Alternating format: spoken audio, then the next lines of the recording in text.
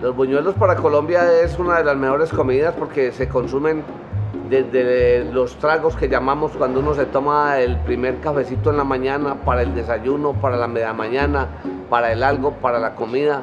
Y aparte de eso, les gustan los niños, les gustan las niñas, les gustan los jóvenes, les gustan los ancianos, a toda clase de público nos encantan los buñuelos. Yo soy uno que me como tres diarios.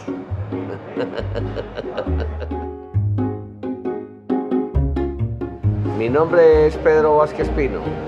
Estamos ubicados en el restaurante El Peregrino, municipio de Sabaneta, Antioquia. El Peregrino nació hace 40 años. Es un negocio de tradición familiar.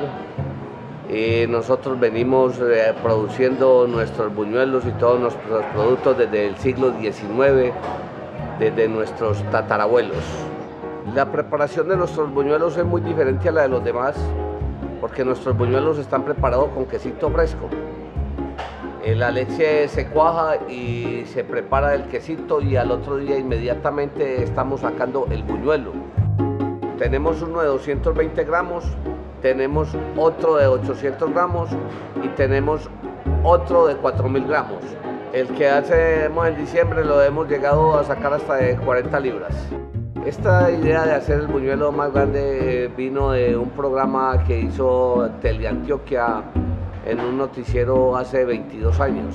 El Peregrino es un salón familiar, es un salón en el cual vienen eh, gente desde los más humildes hasta personas que también están en la farándula, en la política. Nuestros planes para el futuro es mantenernos en el tiempo, que la gente siempre tenga un buen sitio donde llegar a comerse sus buñuelos y sus ritangas y sus mecatos